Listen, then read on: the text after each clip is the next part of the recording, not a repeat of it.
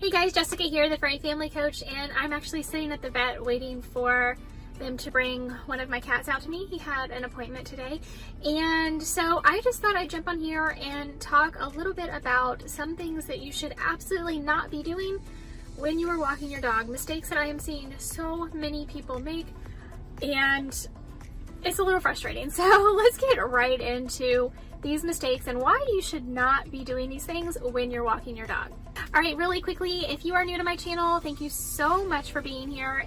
And if you are returning, I appreciate you just as much. Look right down there, either way, at that subscribe button. If it's red, go ahead and click it and turn it gray. When that happens, a bell will appear.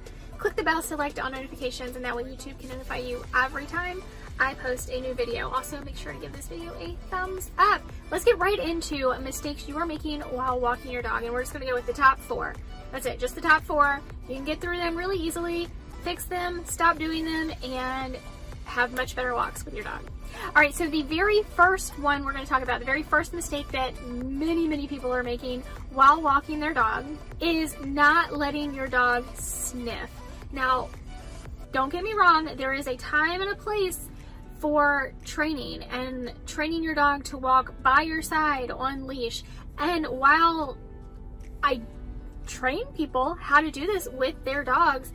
A lot of the purpose of walks to begin with is to provide your dog enrichment. And one of the best ways to do that is to let them explore their world, the world around them, their environment. And sniffing while on a walk lets them do that. It, there's always something new. Even if you're walking down the same street you walk down all the time, there is generally going to be something new going on, something new for your dog to smell and pick up a new story for the day, possibly. Enrichment in the form of letting your dog use their nose is incredibly powerful. So even if you are in training mode, even if you are working with your dog to train them to walk politely on a leash or walk closer by you while walking on a leash, don't spend the entire walk doing that. Train that for, you know, work on that for a little while let your dog sniff, go back to working on it for a little while, let your dog sniff, and always end on a positive note. So definitely make sure that you are working with your dog and not against your dog. So let your dog sniff. Okay, so the second biggest mistake I am seeing people do all the time while walking their dog is ignoring your dog. So if you're taking your dog out for a walk and you are, you know, checking Facebook or Instagram or you're just on your phone texting or maybe you're on a phone call or whatever, listening to music, listening to a podcast, whatever it may be, you're not paying attention to your dog. You're not in the moment with your dog. And that is a huge, huge mistake. Walking with your dog is a bonding experience. And if you're otherwise occupied, you're not spending that time with your dog. And is really a shame because this is a really critical bonding time, bond, bonding experience for you and your dog.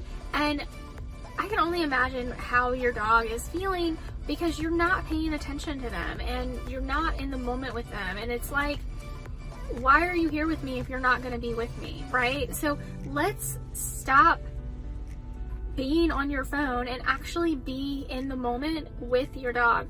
Also, if you are otherwise occupied, you don't know what's going on. You don't know what it is that your dog is sniffing at, if it could be dangerous. You don't know if, you know, your dog has just walked up on a skunk or some other animal, a, a snake maybe that could bite them. You don't know if you don't know what's going on. You don't know if there is a person following you because you, you know, maybe a not so nice person following you because you're not paying attention. You're not in the moment. So get in the moment, get off your phone and pay attention to your dog.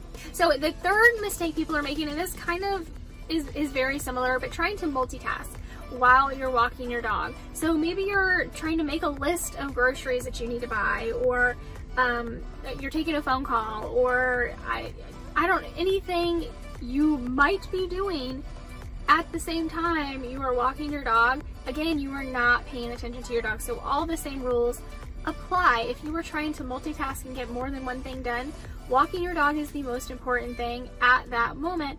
Get in the moment with your dog and walk with them and be very intentional about it. And quite honestly, get, use this time to reset your own brain and your own mind and take the time to let your brain process things, you're to find that by, you know, every day, giving your brain time to actually relax and process things, you are actually going to be more productive. So let's stop multitasking, put our phone down. I understand if you need to take it with you for emergencies, put it in your pocket, pay attention to your dog and what is going on with your dog, be in the moment with your dog, you and your dog are to be so much happier. And the fourth mistake that so many people are making while walking their dog is choosing the wrong harness or leash or collar. And if you've been following me for any length of time, you know that I am absolutely 100% against attaching a leash to a collar. It puts entirely too much strain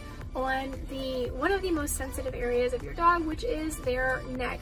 There are veins and arteries, their trachea and esophagus, and uh, their vertebrae in their neck so much can be damaged so easily.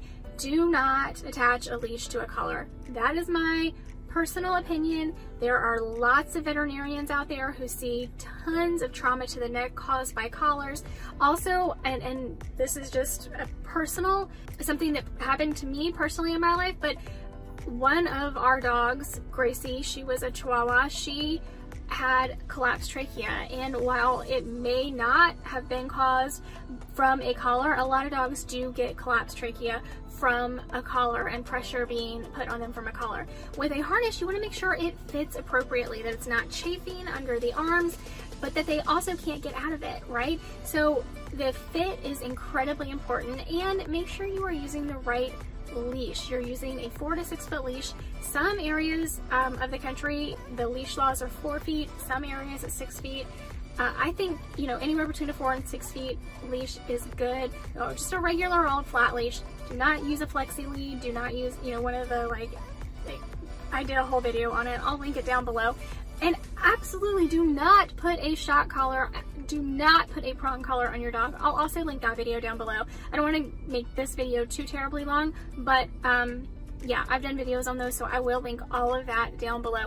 So a harness with a four to six foot flat leash, that's what you need. And make sure the harness fits your dog well. So those are the top four mistakes that I'm seeing people make while walking their dog, and I really hope that you no longer make these mistakes after watching this video. If you have any questions, make sure you post them down below. Also, if you have any comments, post those down below. I would love to hear from you. And make sure to check me out on Patreon. It is the first link in the description of the video. I have tons of exclusive content over there as well as a chat set up. Over on Discord, you get lots of there's so much there. I have a video. Check the link in the description. Support me on Patreon. It really helps my channel to grow. It helps me bring you new and better content. So I hope to see you over there. Make sure to check all the other links in the description as well. If you don't know, I am a dog trainer and I do have an online course as well as an ebook that you can get your pretty little hands on and it will definitely help build that relationship with you and your pet. I hope you enjoyed this video. I hope you got some tips from it. Let me know what you think. Leave me a comment down below. I can't wait to hear from you. From you. Make sure you do also give this video a thumbs up. And if you haven't already, look right down there at that subscribe button. If it's red, make sure you click it and turn it gray. When that happens, a bell will appear. Click the bell, select all notifications. That way YouTube can notify you every single time I post a new video. Again, make sure you are checking me out on Patreon. Completely exclusive content that you're not going to get anywhere else new content going up there weekly and four different tiers. So pick the tier that best suits you. I can't wait to see you over there and I will see you our next video. Bye. Hey, thanks for watching. Make sure to give this video a thumbs up and subscribe to my channel so you never miss another video.